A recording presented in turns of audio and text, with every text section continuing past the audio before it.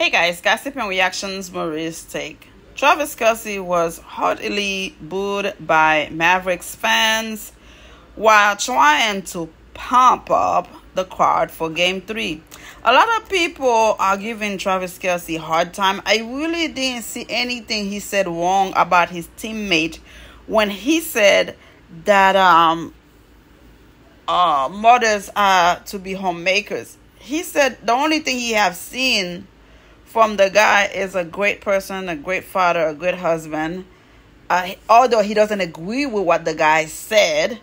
So I don't understand why people are booing him. I mean, come on. Travis Kelce doesn't have many fans within the Dallas Mavericks squad, it seems. On Sunday, Kelce and Kansas City Chiefs teammate Patrick Mahomes took in game three of the Western Conference Finals in Dallas. The Mavericks are up 2 and 0 and the series against the Minnesota Timberwolves, and the crowd was very clearly fired up for the pivotal game.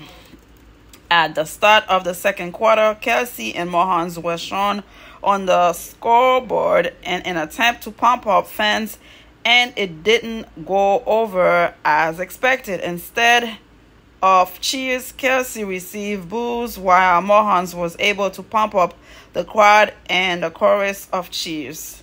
Come on, give the guy a break. He's a great guy.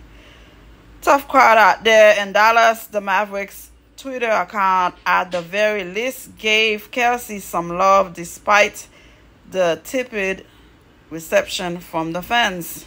oh my lord. Uh, he gave his opinion about his teammates, but I don't think he really had anything.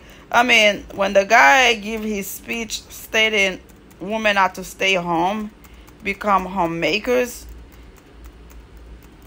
he did not have anything to do with it. You know, the guy said whatever he wanted to say. And all he said, look, I don't support what he said, but I know he's a great person. So I don't understand why people booed him. Um, all we know, he's a great guy. He's making Taylor Swift happy.